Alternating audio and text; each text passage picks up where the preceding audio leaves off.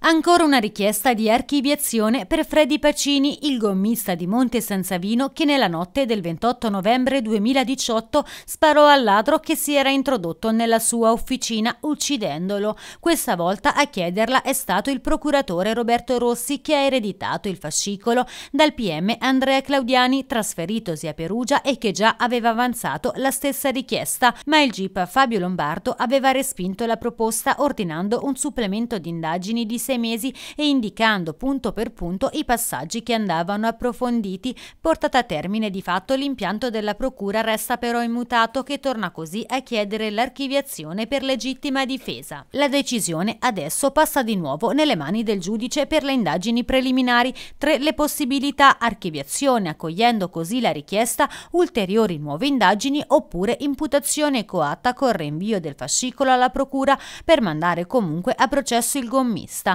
Freddy Pacini, esasperato dai furti subiti, da anni dormiva all'interno della sua officina in via della Costituzione. Quella drammatica notte fu svegliato dal rumore del vetro del portone che si infrangeva sotto i colpi di piccone inferti dai ladri. Fece così fuoco con la pistola regolarmente detenuta. Due proiettili raggiunsero Vitalie Mircea Tonchok, 29enne, moldavo. Uno risultò fatale, provocando un'emorragia interna. La vicenda nei mesi scorsi aveva suscitato anche l'interesse della politica nazionale, con Matteo Salvini che sin da subito era sceso in campo a difesa di Freddi, seguito poi anche dalla leader di Fratelli d'Italia Giorgia Meloni.